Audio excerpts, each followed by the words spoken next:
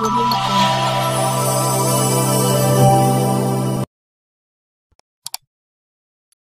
पे जो है, अगर जिला अध्यक्ष रहे हैं, यहाँ में अकबरपुर है, वहाँ पहुँचना एक घंटा, ज़्यादा समय नहीं तो एक घंटा आप जाइए। आप समझो हाँ क्या निर्णय ले रहे हैं, क्या नहीं, क्या कहेंगे, क्या नहीं कहेंगे, फिर हम उस गाँव में जाएँगे। हाँ आज जो कार्यकर्ता नहीं पहुँचे, यहाँ हमको बताना पड़ेगा। अध्यक्ष जी सारे कार्यकर्ता, यही बात हुआ है। हम लोग को करना है पार्टी को नमस्कार दोस्तों, मैं प्रोफेसर श्रीवास्तव, आप देख रहे हैं टीवी सेवन न्यूज़ यूपी। मैं मौजूद हूँ निरीक्षण भवन पीडब्ल्यूडी। हमारे साथ बात करने के लिए निषाद पार्टी के नेता मौजूद हैं। निषाद पार्टी के राष्ट्रीय अध्यक्ष संजय निषाद जी का कार्यक्रम लगा हुआ है। हम कई मुद्दों पर बात करेंगे। इस समय आपको बता दें कि केंद्र और राज्य और यूपी में निषाद पार्टी योगी सरकार की सहयोगी दल के रूप में काम कर रही है, गठबंधन के रूप में काम कर रही है, सरकार में मंत्री भी हैं, संजय निषाद जी और विवादों से घिरे रहते हैं। अभी बीते दिन हुई उनके खिलाफ जो है, कोर्ट से आदेश हुआ गिरफ्तारी का, लेकिन वो गिरफ़्तार ना होकर कोर्ट से निकल गए। बड़ा हो हल्ला हुआ, उनके नेता, उनके आगमन को लेकर तैयारी यहाँ बैठक कर रहे हैं। आप ये बताएँ कि निषाद पार्टी के राष्ट्रीय अध्यक्ष उनकी उनकी तैयारी को लेकर क्या बैठक की गई। जी पहले आपके चैनल को बहुत बहुत बधाई देता हूँ। धन्यवाद। तो माननीय मंत्री भारत सरकार उत्तर प्रदेश सरकार डॉक्टर साहब जी का आगमन जनपद अंबेडकर में होने वाला है। हम लोग आशा विश्वास करते हैं कि जब से गरीबों के बारे में आवाज़ उठाए महामना जी तब से गरीब समाज को जानकारी नहीं थी। जब हम लोगों को पता चला कि every problem solve by political party in the democracy हम लोगों ने गाँव वालों को बताया कि आपके पास समस्या ज़्यादा है। ये सब सत्तर साल से देश आज़ाद हो गया। लेकिन जो है, जो पार्टी वाले आपके गाँव आज तक आए थे, उन लोगों ने धोखा दे दिया। जैसे हमारे, हम हम लोगों ने वोट का पावर बताना गाँव में शुरू कर दिया कि भाई महामना जी का आदेश है कि आपके वोट में दम है। तो हम लोग एक प्रोग्राम के तहत हम लोग प्रशिक्षण दिए कि read the voter teach the voter trade the voter, cast the voter. Voter को जाके सही जानकारी दिया। तो आप देख सकते हो, सत्तर साल से सपा आई थी, इनका वोट लिया था गरीबों का। इन अधिकार हक अधिकार अक्षर की बात कर रहे थे, कुछ नहीं दिया। तो हाथी भी आई थी वोट लेकर के, चली गई। तो जब हम लोग खड़े हुए, निषाद पार्टी आई तो गरीबों का आवाज़ उठाई तो गरीब लोग साथ जुड़ गए निषाद पार्टी में। तो क्या हो गया? देख लो जो है, आज इलेक्शन के दौरान हाथी जो है, एक नम, एक सीट खाली जीत पाई है। और कांग्रेस भी एक एक नम, एक सीट आ गई है। और निषाद पार्टी एक नहीं, ग्यारह सीट आई है। तो हम लोगों ने, क्या हुआ निषाद पार्टी निषाद गरीब लोगों ने ये हाथी को, हाथी और पंजे को साफ़ कर दिया और सपा को माफ़, हाफ़ कर दिया। और भाजपा को हम गरीबों ने माफ़ कर दिया है। इसलिए बधाई होता है, भाजपा और निषाद पार्टी का आप देखो सरकार है। हम आशा विश्वास करते हैं, मंत्री जी का आगमन। हम लोग ज़्यादा से ज़्यादा गरीब लोग आएँगे और सहयोग के साथ बहुत बड़े पैमाने पर हम लोग मीटिंग लगाने चल रहे हैं और 2024 में भी हम भारतीय जनता पार्टी के साथ हैं। गरीब की आवाज़ उठाती है गरीब का साथ देती है। आशा विश्वास है कि 2024 भाजपा भी रहेगी और निषाद पार्टी भी साथ में रहेगी।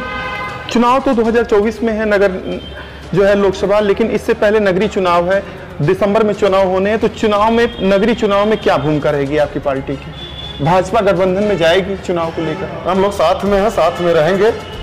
क्योंकि कभी भगवान श्री राम और निषाद राज मित्र थे और वही मित्रता आज हम लोग निभा रहे हैं। जहाँ हमारा बहुल सीट है भारतीय जनता पार्टी से हमारी जो पार्टी है न चुनाव लड़ेगी भारतीय जनता पार्टी हम लोग सपोर्ट करेंगे।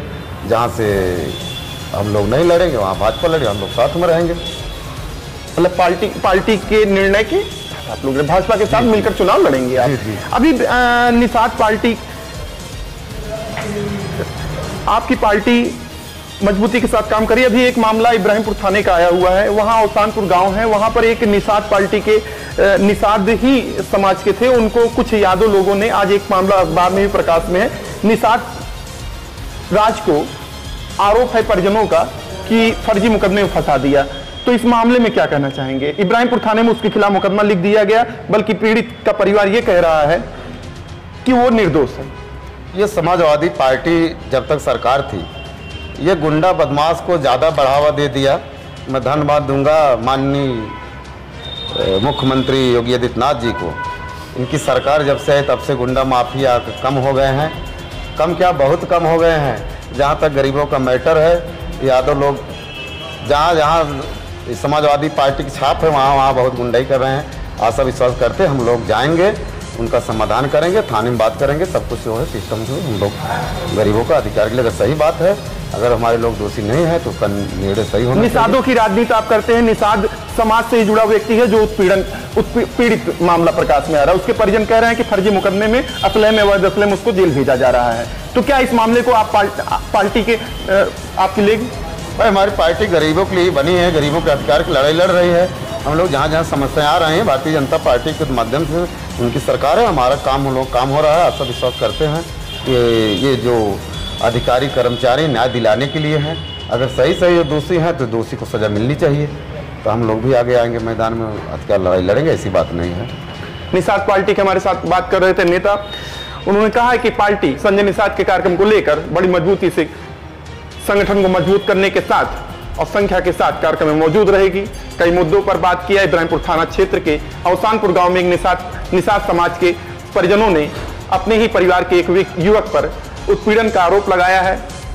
उनका आरोप है कि यादव वर्ग के लोग फर्जी मुकदमे में हमारे परिवार के सदस्य को जेल भेज रहे हैं। पार्टी के नेता ने कहा है कि हम संज्ञान में लेंगे और परिजनों से बात कर, अगर पीड़ित सही है तो उसको न्याय दिलाएँगे। अब देखना होगा, निषाद निषादों की राजनीति करने वाली निषाद पार्टी के नेता अवसानपुर में पीड़ित परिवार का संज्ञान लेते हैं या नहीं लेते हैं। जो भी हो, संगठन की मजबूती को लेकर बैठक थी। निरीक्षण भवन में सन्न निषाद के आगमन को लेकर, संगठन की, को मज़बूत करने को लेकर वार्ता की गई। मैं professor Srivastava TV seven news सहयोगी पंकज शर्मा के साथ अंबेडकर संगठन की बैठक को आज आपकी थी। क्या रणनीति पर चर्चा हुई बैठक में? संगठन की बैठक इसलिए किया गया क्योंकि कोई भी कार्यक्रम तैयारी करने के लिए हमें कार्यकर्ता सिपाहियों की ज़रूरत होती है, क्योंकि जो कार्यक्रम हो रहा है, मानव डॉक्टर संजय कुमार निषाद जी का, ये छोटा कार्यक्रम नहीं, ये बहुत बड़ा कार्यक्रम है। ये 24 की तैयारी को लेकर अभी से हम लोग कमर कसेंगे, तभी जाके 2024 में सत्ता में दोबारा रहेंगे। जी। इब्राहिमपुर थाना क्षेत्र के अवसानपुर गाँव में निषाद पार्टी के परिजनों ने अपने ही परिवार के सदस्य पर यादव वर्ग के द्वारा उत्पीड़न का आरोप लगाया है। अवैध अफलाह से हत्या का आरोप लगाते हुए फर्जी मुकदमा दर्ज कराने की बात सामने आ रही है। अखबार में आज समाचार पत्र में क्या आपकी पार्टी इस मामले को संज्ञान मिलेगी? ये जो गरीब समाज की पार्टी निर्बल इंडिया शोषित, हमारा आम दल है हमारे लोग हैं, निर्बल शोषित हैं। इनको जो सताया जा रहा है, वहाँ के हमें, हमारे पास फ़ोन आया था यहाँ का यादव प्रधान जी हैं और सफ़ाई हैं, उन्होंने ज़बरदस्ती उसके हाथ में सलाह देकर उनका फ़ोटो खींचकर उनके ऊपर मुकदमा लगवा रहे हैं, लेकिन मैं अभी तुरंत तत्काल को अभी शाम को एसपी साहब से मिलूँगा और इसके लिए जो सही कार्रवाई है उस पर कार्रवाई किया जाए, अगर वो झूठे जाके उन यादव के ऊपर मुकदमा होना चाहिए। और पीड़ित के परिजनों का आरोप था कि पुलिस ने उस मामले को दबाने का प्रयास किया। उस मामले में क्या कहना है आपका? महिलाओं की रहनुमाई करती हैं संगठन से आप? क्या करना था? पार्टी आपकी चुप थी। मालीपुर घटना को लेकर। मेरी पार्टी नहीं चुप थी। ऐसा है कि हम लोग उसको देख के फिर जो है दे- उसका वो करेंगे निर्णय लेंगे। क्योंकि जो है जो है पुलिस लोग जो है गए थे वहाँ देखभाल किए थे फिर जो है दबा के फल रखे हैं देखो हम लोग जाएँगे उसका निर्णय लेंगे। पार्टी के राष्ट्रीय अध्यक्ष आ रहे हैं महिलाओं की कितनी, कितनी संख्या होगी आपके संगठन की तरफ़ से? कितनी मानी जाए? दस हज़ार से ज़्यादा।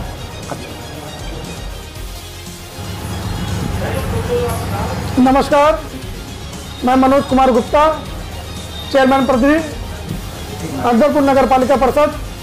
आप सभी नगरवासियों को आस्था, पवित्रता एवं सूर्य उपासना के महापर्व के शुभ अवसर पर हार्दिक शुभकामनाएँ एवं बधाई देता हूँ। नमस्कार मित्रों। मित्रों मैं अखंड प्रताप वर्मा, जिला उपाध्यक्ष, भारतीय जनता युवा मोर्चा अंबेडकर नगर। दोस्तों, दीपावली के पर्व पर आप सभी को ढेर सारी बधाई एवं शुभकामनाएँ। दोस्तों दिवाली के शुभ अवसर पर पटाखा फोड़ते समय सावधानी बरतें एवं सुरक्षित ढंग से दीपावली मनाएँ। आप सभी को दीपावली के पावन पर्व की हार्दिक बधाई एवं शुभकामनाएँ। नमस्कार, मैं रघुनाथ पटेल जिला अध्यक्ष, किसान कांग्रेस, अंबेडकर नगर। लोकसभा पचपन। दोस्तों, आप सभी जनपद वासियों प्रदेश वासियों को धनतेरस, दीपावली एवं भैया दूज की अनंत शुभकामनाएँ और बधाई। पुनः एक बार आप सभी को धनतेरस, दीपावली एवं भैया दूज की शुभकामनाएँ दीपावली आप सभी को सुख समृद्धि के साथ, मंगलमय हो। इसी के साथ आप सभी को नमस्कार, आपका सेवक रघुनाथ पटेल। नमस्कार, मैं त्रिभुवन उप डाकपाल नगर पंचायत इल्तिफातगंज, अंबेडकर नगर। दोस्तों, आप सभी को धनतेरस एवं दीपावली के शुभ अवसर पर ढेर सारी शुभकामनाएँ एवं बधाई। आप सभी के उज्जवल भविष्य की कामना करते हैं। डाक विभाग की योजनाएँ, जैसे S B R D, Sukanya P L I R P L I एवं अन्य योजनाओं का लाभ प्राप्त करने के लिए डाकघर से संपर्क करें। आपकी सेवा में सदैव तत्पर डाकघर, नगर पंचायत इल्तिफातगंज अंबेडकर नगर। नमस्कार, मैं अखिल भारतीय प्रधान संघ अध्यक्ष टांडा महेंद्र कुमार वर्मा। आप सभी क्षेत्र एवं ग्राम सभा तुलसीपुर वासियों को करवा चौथ, धनतेरस एवं दीपावली की बहुत सारी, ढेर सारी बधाइयाँ एवं शुभकामनाएँ। धन्यवाद। नमस्कार, आदावर साथियों। मैं गुलाम दस्तगीर अंसारी, नगर पालिका परिषद अध्यक्ष पद का प्रत्याशी हूँ। मैं आप सभी क्षेत्रवासियों को धनतेरस करवा चौथ, दीपावली एवं भैया दूज की ढेर सारी बधाई एवं शुभकामनाएँ देता हूँ और उम्मीद करता हूँ कि आप सब भी हम लोगों के लिए दुआ करते रहेंगे। चलाइए। नमस्कार। अस्सलाम वालेकुम मैं Jahangir Alam, TV seven news, UP का संपादक, आपसे अपील करता हूँ कि हमारे चैनल यूट्यूब को बेल आइकन की घंटी ज़रूर दबाएँ। और